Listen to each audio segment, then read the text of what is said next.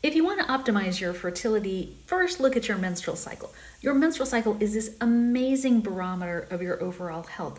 And at Conceivable, we spent 20 years being reproductive acupuncturists. We treated over 10,000 infertile couples, and we came up with what we call a conceivable cycle, which represents not what's a normal cycle look like, but what does the clinical data and our clinical experience show to be the highest likelihood of both getting and staying pregnant. And when we're working with people, we want to figure out what are the underlying reasons that they don't have a conceivable cycle and how do we get them here.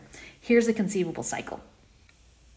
And this isn't a unicorn. Most people can have a cycle similar to this in 90 to 120 days if we figure out the underlying reasons and we just build a simple plan to fix them. So here it is a 28 day cycle, ovulating on cycle day 14 with clear, stretchy cervical discharge.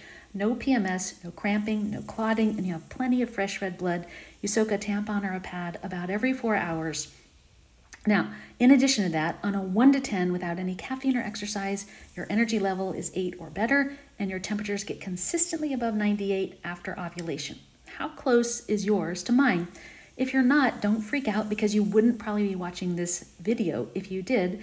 If you want to have a conceivable cycle and you want help getting it, head over to the link in my TikTok bio or in the comment, leave the word app, and I'll send you information for early access for Kirsten AI your new personal fertility assistant. She'll help you figure out what's wrong, make a plan to fix it, and stay on track 24 7.